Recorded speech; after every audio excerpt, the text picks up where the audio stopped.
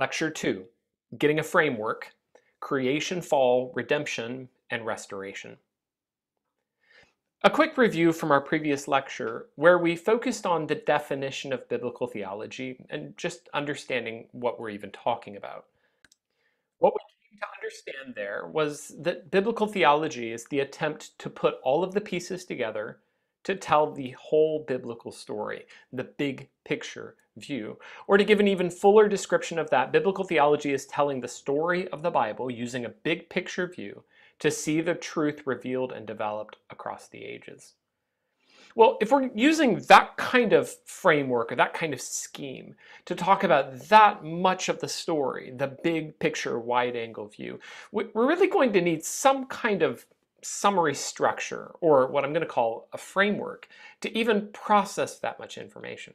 At a starting level, one of our problems or one of our challenges is just trying to hold it all together because there's so much content there. And I'm going to give you a framework for understanding the biblical story to use the language of story, or to think of this as a drama, a play, then let's think of four specific scenes or you might even say if it was a drama, acts, four major sections of the story, and each one of those sections having its own set of characteristics. Now, in terms of time, these scenes overlap with one another, and we can recognize then that certain periods of time incorporate at least two, sometimes even possibly, arguably three, different aspects of these scenes. Still, the framework gives us a good starting point for how to think about the biblical story. And I'll introduce first the scenes. I'll explain what each one of those scenes are, what it means. I'll give a core concept for each, and that's really what you need to hold on to. You need to grab the core concept for each one of these four scenes. And then I'll finally illustrate this by talking about two specific topical applications. We'll talk about the problem of evil and a theology of family running those topics through this grid or through this framework and recognizing the distinctive help we get in each one of the four scenes. First, let me summarize the scenes for you. I've found this graphic to be a really helpful summary for each.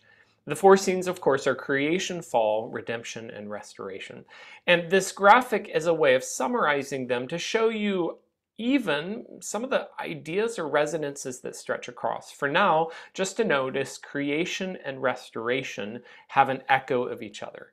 And there is contrast between, let's say, the clouds on creation and the clouds that have now turned stormy under the fall, or the crown under redemption and the crown, again, under restoration. Each one of these four scenes refers to, of course, a major portion of the biblical information or the biblical story. Creation first, God made the world, he made it good. The fall, sin corrupts the world. And so we see all of the shattering, the mess, the destruction that comes about because of Adam's sin. Jesus Christ enters into our sorrow with redemption. And finally, at the end of time, we can expect, we know, that all things will ultimately be restored.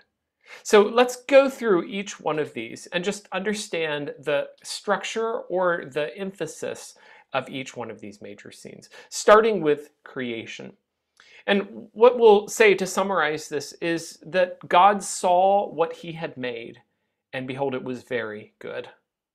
God saw what he had made, and behold, it was very good. This concept of goodness, or the idea that the creation as God made it was a good thing, not an evil thing, this is really fundamental to understanding the biblical story.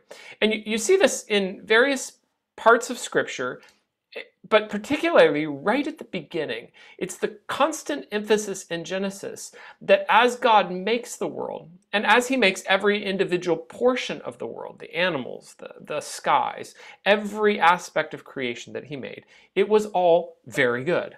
Scripture emphasizes that each time. So if we just go through the narrative itself in Genesis 1 and 2, we get language like this. God saw the light that it was good. The gathering of the seas, God called the seas, he saw that it was good. God saw that it was good. God saw that it was good. In fact, it's so often across the narrative that it's almost overwhelming. Until you come down to a summary of the entire section, God saw everything that he had made, and behold, it was very good. The evening and the morning were the sixth day. So, a, a fundamental assertion or belief of Christianity is that the world was created good, not evil. When God made it, it was good. There's another related concept that you have to know, and this is the concept of the image of God. So again, you find this right in the beginning in the foundational text of Christianity or the foundational text of, of understanding creation, we see this kind of pattern. God said, Let us make man in our image, after our likeness. Let them have dominion over the fish of the sea, over the fowl of the air, over the cattle, over all the, the earth, over everything that creepeth upon the earth. So God blessed them, and God said unto them, Be fruitful, multiply, and replenish the earth, and subdue it, and have dominion over the fish of the sea, the fowl of the air, and over every living thing that moveth upon the earth. The pattern of these these ideas is that God made mankind unique for a specific purpose. Mankind is not parallel or equal to the animals or any other aspect of creation. He's different because he is made in God's image. And this is not the time and the place to build up an entire theology of the image of God in man, except just to say that it is a role given to man to have dominion, or, said differently, to take care of the creation that God made. And this is unique to humanity. Humans are different than any other creature. Psalm 8 builds this idea out further. Again, you can see creation language. When I consider the heavens, the work of your fingers, the moon and the stars, which thou hast ordained, what is man? And the question, of course, goes, man, because he is so small, he is so insignificant. So why does man matter? Or what's the big deal about mankind? Why would man stand out separate? You've made him a little lower than the angels.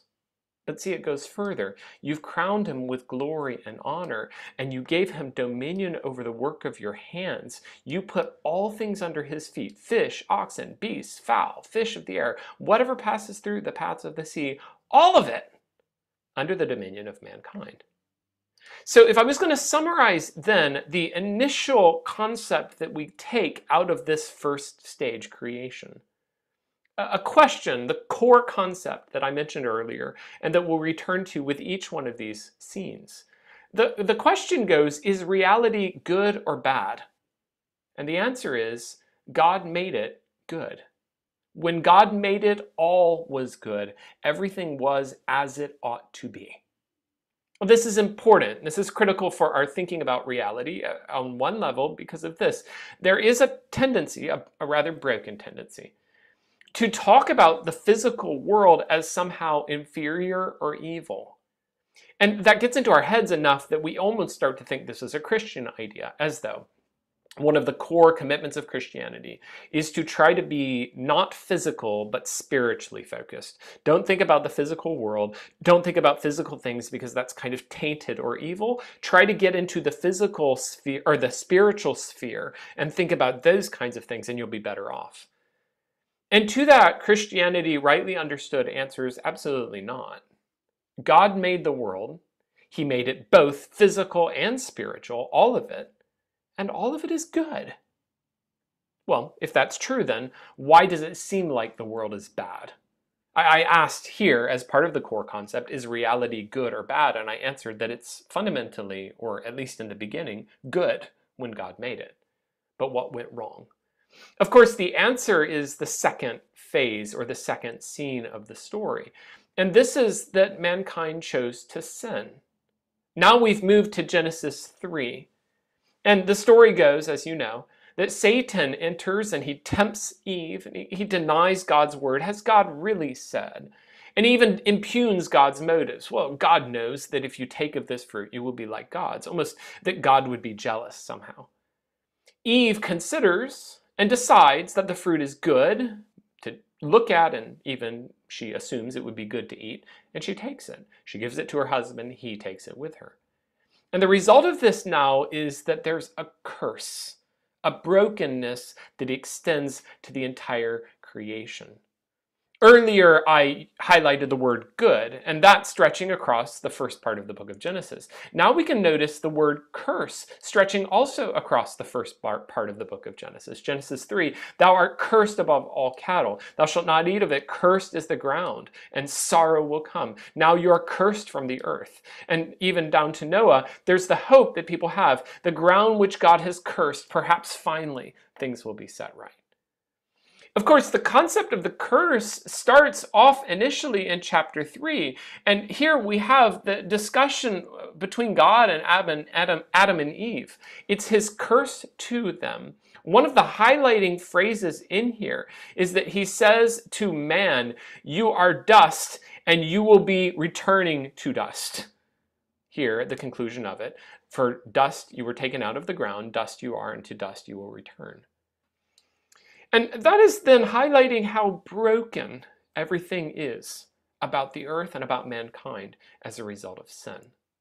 We find this just spreading out from there. So if we keep on moving in the narrative, we move to the next set of, of, of discussions or events where we find that now not just Adam and Eve, but even their descendants have been tainted and broken by sin.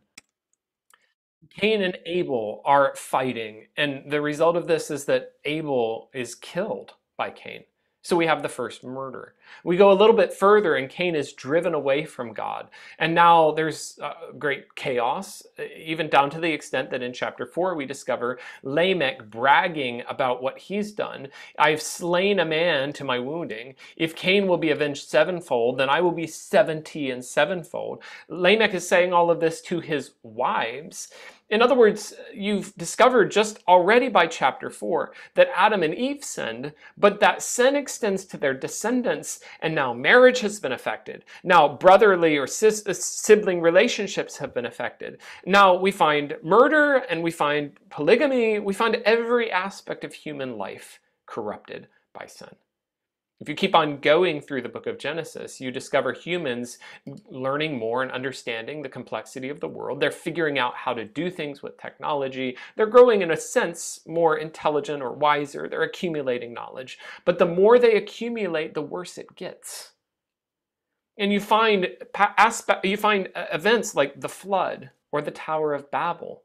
When God in a sense is judging, but he's also showing mercy by limiting humanity's sin from the extent to which it would destroy all. In all of this, then, you're seeing just how nasty the curse is.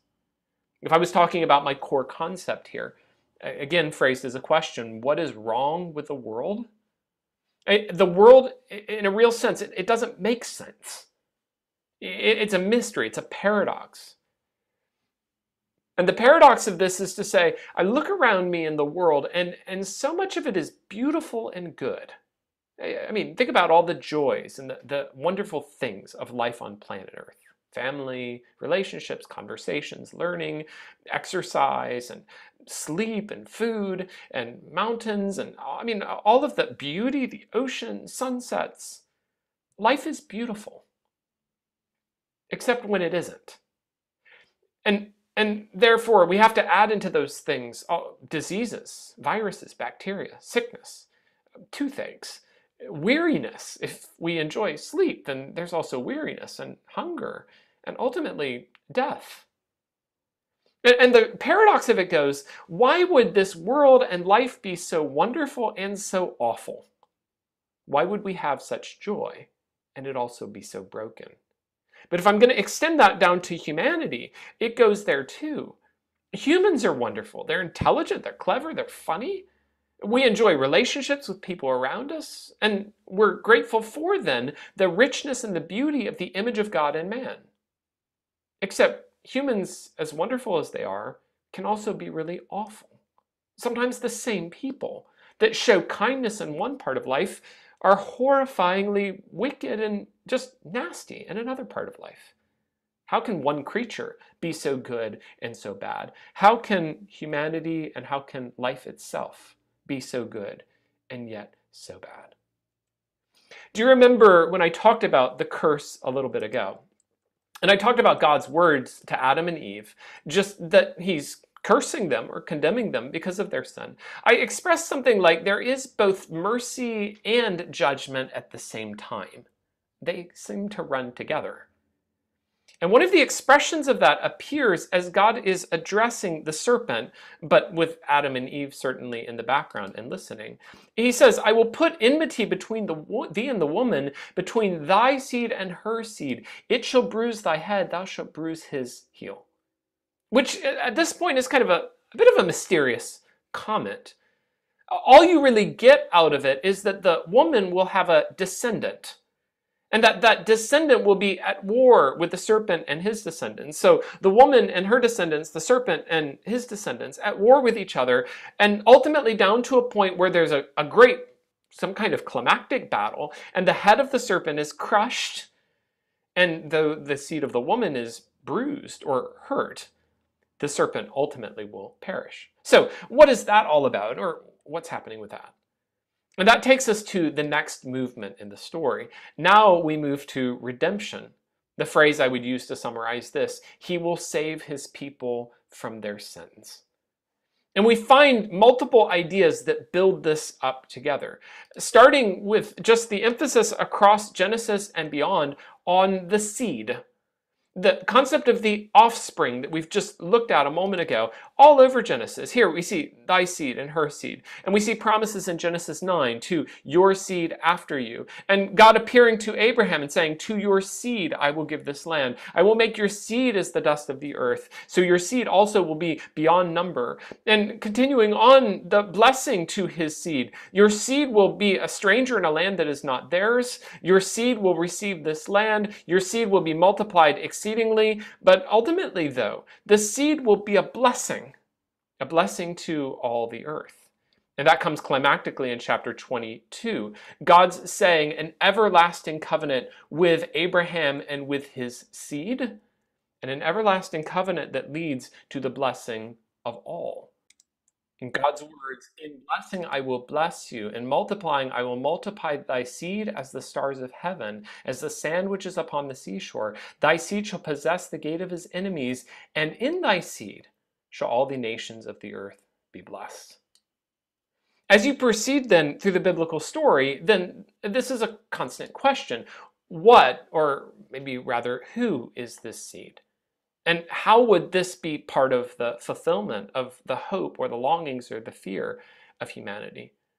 And as you go through the rest of the Old Testament, you see promises like the seed promise to Abraham we saw, the seed promise to David, David will have a descendant, and a promise even to the nation of Israel that as a whole, then there will be a child born, and that child will be the solution or the Messiah.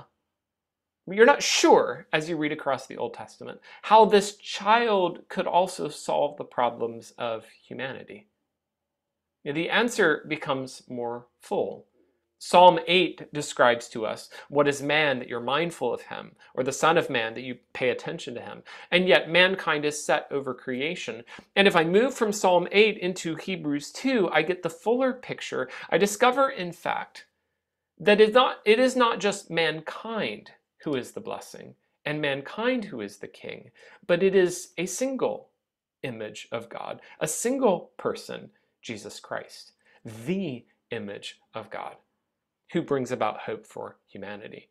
And that ties us into other themes, many other themes, too many to survey. I'll just highlight one. If we're talking about the fact that mankind was made to rule, to have dominion, to subdue the earth, then how would the seed, the Messiah, have dominion and rule over the earth? Well, you get a pattern with king and kingdom, so that Matthew 27 will emphasize multiple times Jesus Christ as King of the Jews, the King of the Jews, the King of the Jews. He's the King of Israel. And yet, this is a really fitting transition. Because while he is the king of Israel, it does not mean that he is beyond sorrow. In fact, you find this emphasis aligned or overlapping with his suffering. He's king because he suffers and dies. And if I put that in a framework of Isaiah, Isaiah 53, then we find that Jesus Christ, the Messiah, has come and carried our griefs, our sorrows, our iniquities, our transgressions, our peace. His stripes are our healing. The iniquity of us all laid upon him. Okay, these are patterns you know and that you're familiar with. But the concept of all of these is that instead of humanity suffering alone and dying alone, the Son of God leaves heaven to experience suffering. He carries our sin. What ought to have happened to me happens to him. And then he's victorious over that sin. He's victorious over death. He's victorious over it all, and he lives again and he reigns as king. And if I was going to summarize this with a core concept, I would say this as a question How can we deal with guilt?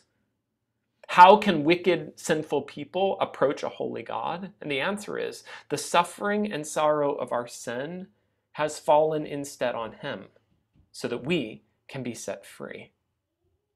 The final stage in the story is restoration. We could summarize it with the phrase, Behold, I make all things new. And the pattern with this goes that if you're watching carefully, at the beginning of Genesis, we read the heavens and the earth. God created the heavens and the earth. But if we read to the end of the story, we discover a very parallel pattern, and it is that I saw a new heaven and a new earth. Or Isaiah will say it with this language that God says, I, behold, I create new heavens and a new earth. Isaiah 65 giving us exactly this kind of concept. I create new heavens and a new earth. The former things will not be remembered. I will make it all new. How would all creation be made new? Isaiah 11, it's the stump of Jesse, a branch from his roots the one who will rule in righteousness. And so we see language like the wolf lying down with the lamb, the leopard lying down with the young goat, the calf and the lion and the fatted calf together, the cow and the bear grazing, the long, young ones lying down together, and the lion eating straw like an ox. What's going on here? The idea of it is that when Jesus reigns as king, the creation itself will be made right all things will be transformed the people, the humans, the world itself. And if I go backwards in that framework, thinking through some of the concepts we've highlighted here, in terms of this graphic, recognize that the restoration or the end of all things is kind of an echo of the beginning. The creation was made good, at the end, it's kind of restored back to that again. It's, you could initially think of it almost like a circle coming around, and finally we've returned around to where we were. Except not just that we returned to where we were. It's not just a circle, but it's linear. It's also a progression, and you can see that the two images are similar, but they're different. Now, finally, the world is made right because it is under the rule of the righteous king who reigns over all things. Do you remember our idea at creation? Mankind was made in the image of God. He was made to rule and to reign. We saw that mankind's ruling and reign actually, reigning actually turns nasty because mankind starts using his powers for evil instead of good. We saw that that means Jesus Christ steps forward and he becomes the true king, the true fulfillment of Psalm 8, to do everything mankind ought to have done. The end of it all is that the world is right because Jesus Christ reigns over it as king. And if I was going to then come to a summary statement for this final movement in the story, we could ask a question Is there a point to our existence? What are we doing and, and why? And the answer is yes, absolutely. The end of the story returns to the goodness of the beginning, except even richer and more full. So let me summarize these, each one of these movements, and just to recognize the core concept that we've drawn from them all. We can summarize all of these major concepts, or these major stages, and then the core concept for each, the idea that I want you to know for each one of these stages. Now, once you get this summary, or once you get this framework for thinking about the entire history of the world and the entire history of Scripture, this becomes really powerful. Not just for biblical theology and knowing the framework itself, but for examining different topical studies as a way forward and a way of analyzing questions or problems, or being able to trace your way through all of Scripture. So my intention here is to take this structure, the structure of creation, fall, redemption, and restoration. And I want to talk with you about two specific topics. I'll talk about the problem of evil, and then a practical question, family, or how to develop a theology of the family. Let's start with evil. And just four points that really help us think differently about evil and how to help people or counsel people as they're struggling through this question. The first is this uh, the uniqueness of the biblical worldview. Evil is not just a given. It, it's not just kind of the way things are. And in many frameworks, secular materialism, Buddhism, many other worldviews, it, evil is just reality. Can't do anything about it. Might as well adjust yourself to it. In the biblical story, evil is not normal, evil is the aberration. Evil is the strange thing. God did not originally make the world evil, He made it good. And so when you encounter evil in the world and something about that bothers you and makes you feel like, like something's wrong or broken, the answer from Scripture is you're right. It's not supposed to be this way. This is not normal. That moves to the second stage, fall. And in terms of suffering, sorrow, and death, the biblical answer is that the world is broken like this, and we have death and we have suffering and sorrow because of sin. So, as you and I then deal with the problem of suffering and the problem of evil, it's very helpful to recognize that it is this way because of the wrong choice that all of us have made. Not just individually, as though a person who suffers automatically is a more wicked person, but it's the reminder that in reality and in life all about us, there's this constant, clear indication.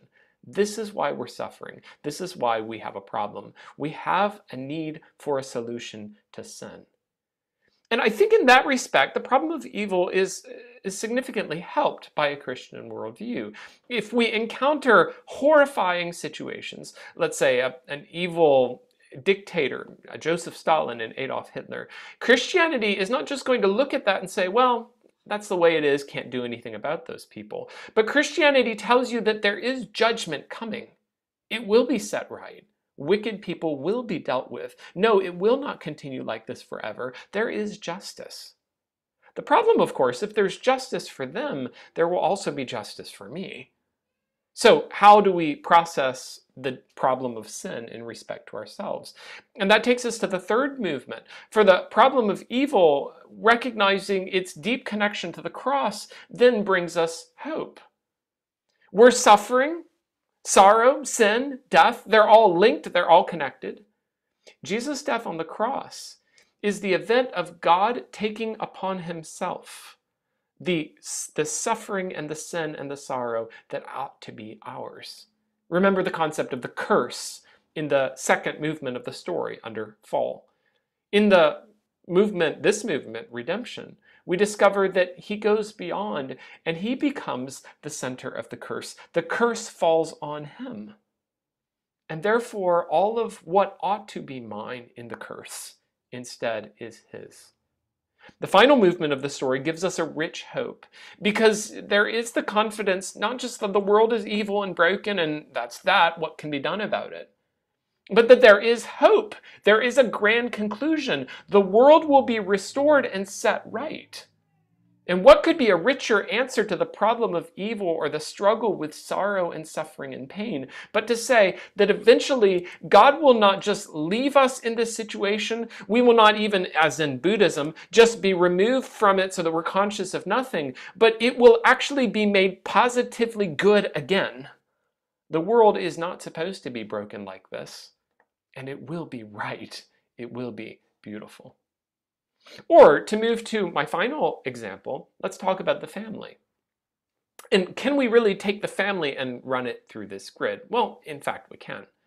If you want to challenge yourself, you could pause the lecture for a second and you could think through creation, fall, redemption, and restoration. How would I process family or the topic of family and those relationships through each one of those four stages? If you do, what you're going to end up with is starting with creation the fact that God made humanity in the beginning in communion or in family relationships. So, things like marriage, Adam and Eve, this is not a cultural construct. This is the way God made it, and it's good. Male and female, He created them, and He blessed them and God said to them, Be fruitful, multiply, replenish the earth, subdue it, and have dominion. God gave them the blessing so that they together would live out the blessing. God saw everything that he had made. It was very good. God actually created the man and the woman, and he said, It is not good that the man should be alone. I will make a help fitting for him. So God brought the two together, and the result of this is that a man would leave his father and mother, cleave unto his wife. They shall be one flesh. Okay, so the point of all of this is that male, female, marriage, family, relationship, and even specifically, a little hint of the sexual relationship at the end. The man and his wife were both naked and were not ashamed. All of this is creational. God made it. It is right and it is good, and it is not just a cultural construct. The genders are mutually dependent. The genders have to work together. There is also here the indication of headship and a creational kind of concept with headship that again is good.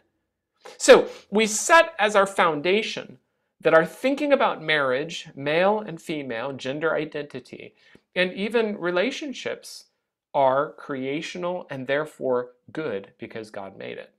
Move to the second phase. The second seed of the story is the fall. And in that framework, or within the fall, we recognize that the immediate distortions are already starting to affect all every part of reality, including, yes, marriage. Okay, some of what's going on here in the temptation and the fall is even a, a contravening or a breaking of the marriage relationship. Satan approached Eve, not Adam. He broke the family order somehow. And the first sin involved distortions in family order and family relationships.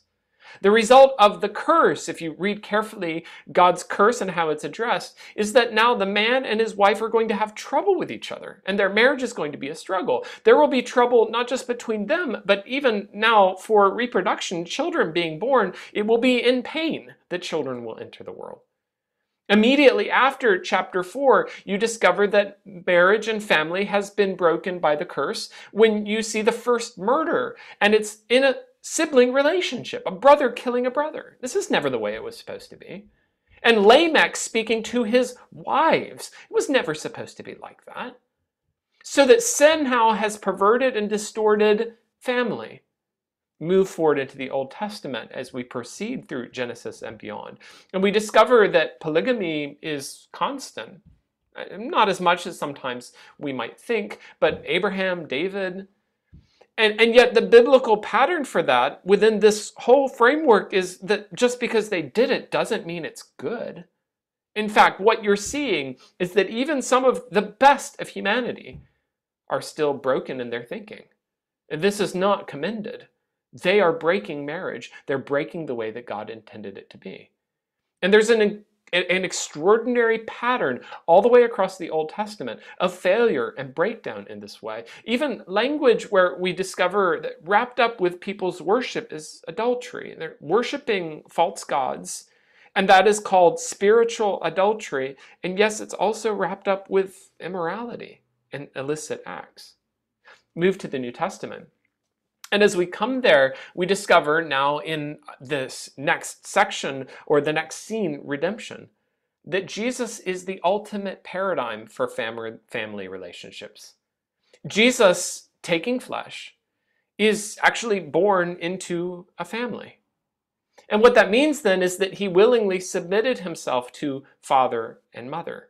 Jesus Christ, Luke 2:52, increased in wisdom and stature and favor with God and man.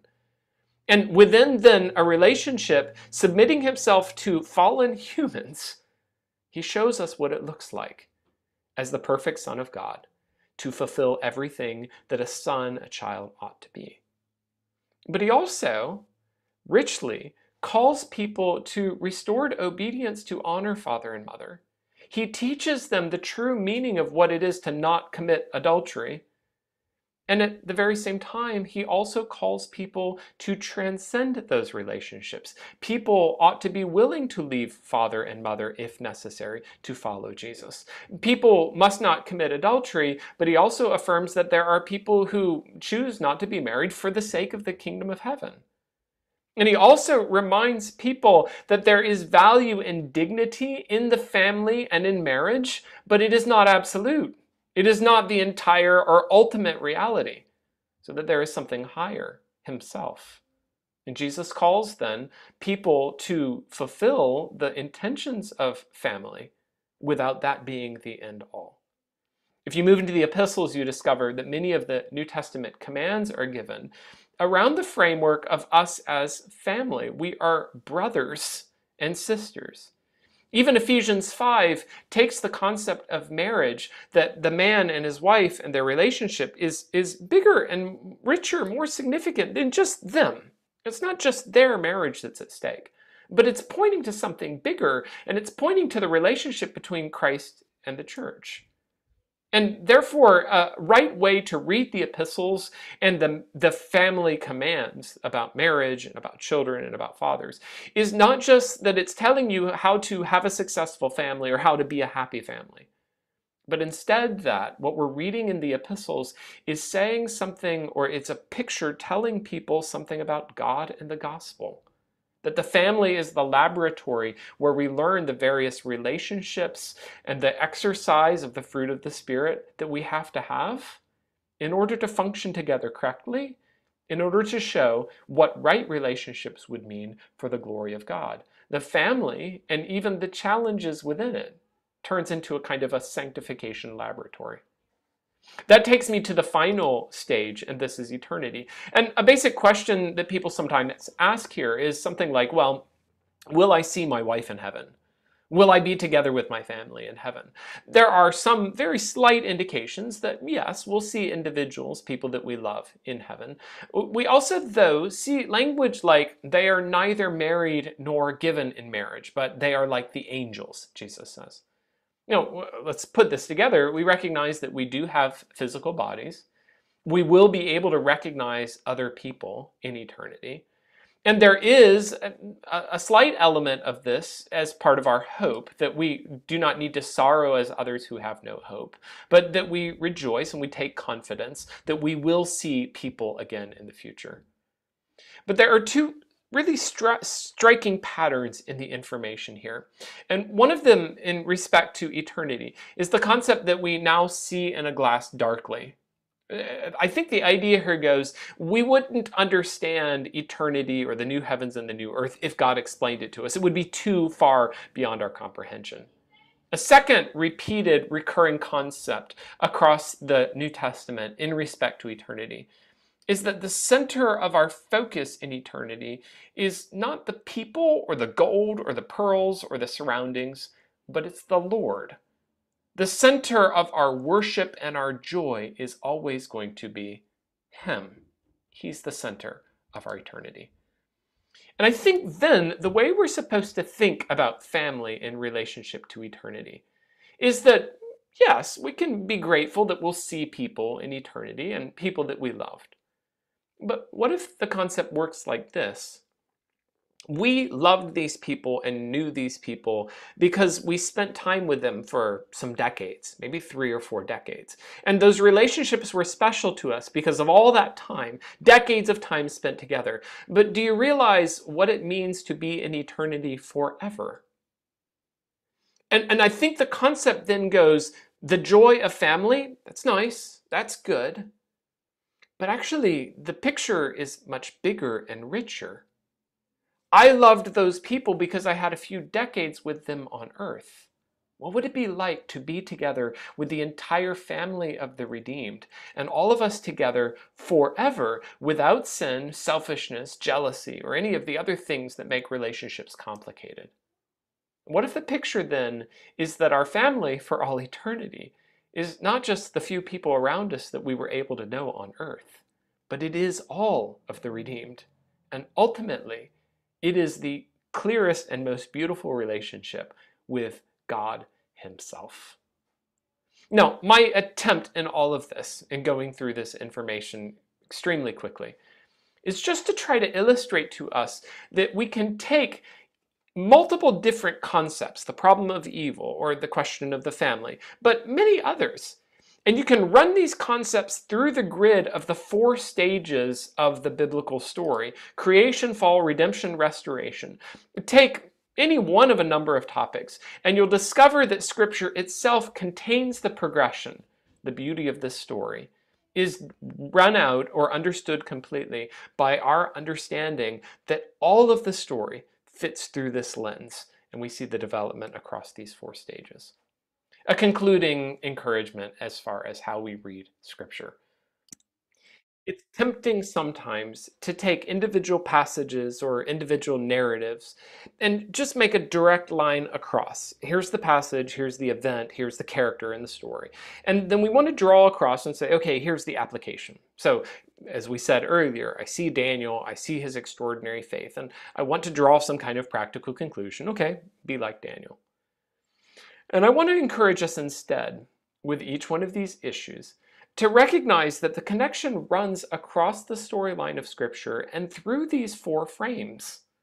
So that as you're exploring, let's say, again, the instance of Daniel, you're supposed to recognize that he's in a very difficult situation in Babylon. The nation has been destroyed. All of this mess that's come about because of sin and you're kind of struggling through at that point. What is God doing? Does he have a plan? You've got to remember, though, that from the beginning, God's intentions for the world were good.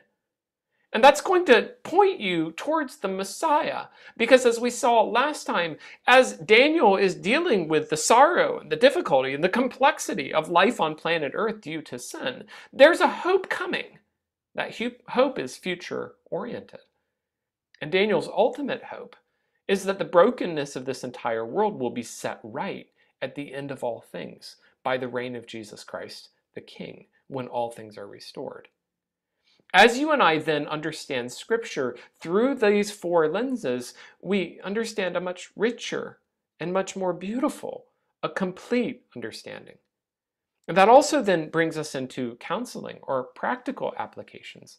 And we can recognize that as you and I deal with the different challenges that we face personally or the people around us, each one of these phases gives us a window into reality and helps us encourage people so that as someone, let's say, is frustrated by the injustice of the world, we can remind them that God did not intend it to be this way. This is a temporary distortion, a result of sin and brokenness, but that Jesus entered into our suffering. He experienced what it was like, and he understands the sorrow, sorrow and suffering that you have right now.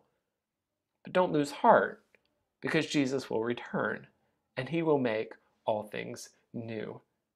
And you and I then stand in the middle of the progress of this story.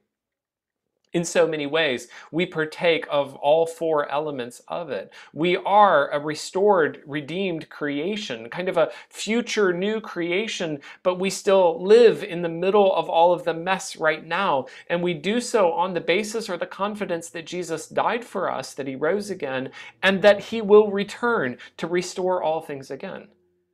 So in the present, then we struggle and we wait, but we have hope. He's coming. Things will be right and good. I trust that by thinking through Scripture through the lens of these four stages or these four scenes, you and I can transform our reading, transform our, understa- transform our understanding of the world, and live in a way that brings honor and glory to our God because of understanding the truth about what he has done and what he will do.